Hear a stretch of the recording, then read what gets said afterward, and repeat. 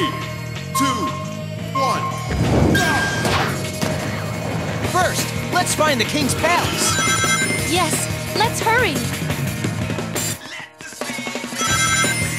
If you have at least one ring, you can get hit without being hurt.